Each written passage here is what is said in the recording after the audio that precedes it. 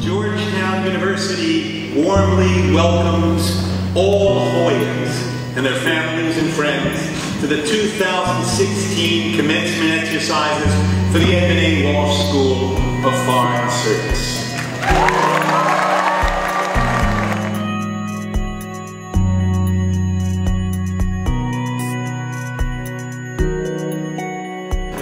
of Brahma. By virtue of the authority vested in me by the Board of Directors, of Georgetown University, I officially confer on these candidates the degree of Bachelor of Science in Foreign Service.